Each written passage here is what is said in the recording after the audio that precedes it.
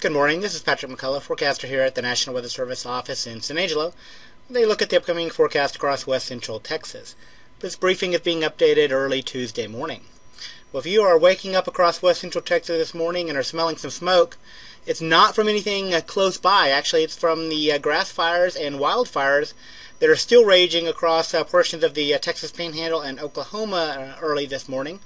That uh, smoke got caught up as a cold front pushed through the area and and um, those north winds have pushed that smoke directly into uh, west central Texas as of sunrise this morning. So we think things should improve, um, smoke wise at least, through uh, the rest of the morning hours. But uh, yeah, uh, this morning it has um, got some uh, some strong uh, strong smell of smoke across much of the area.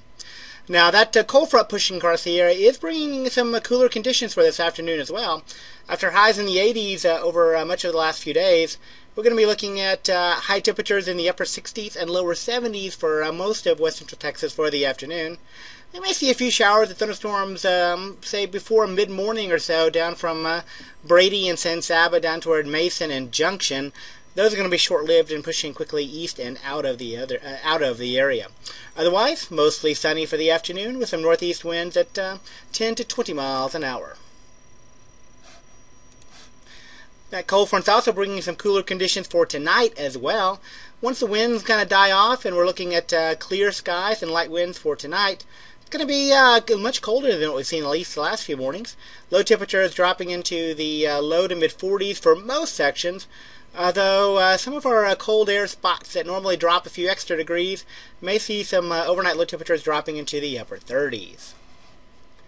And just as a uh, kind of a reminder, this is Severe Weather Awareness Week across uh, across the state of Texas, and uh, we'll kind of have to remind you again uh, that uh, uh, the difference between a a watch and a warning. Again, with a watch, it's sort of sort of a um, be prepared type of forecast. severe weather conditions or tornadoes are possible, but not occurring at that moment one of the signs you might want to sort of keep an eye on the uh, keep an eye on the weather conditions for later in the afternoon or later in the day, and be prepared should uh, an actual storm or actual uh, tornado develop. Tornado warning or severe thunderstorm warning means that uh, again a tornado or severe thunderstorms are occurring at that moment. Um, a tornado may be imminent. You want to take shelter immediately and uh, check for uh, updates as you um, as you stay in your shelter, and we'll let you know when it's, it's safe to come on out. Again, that's the difference between a, a watch and a warning. Thank you, and I will continue to keep you updated.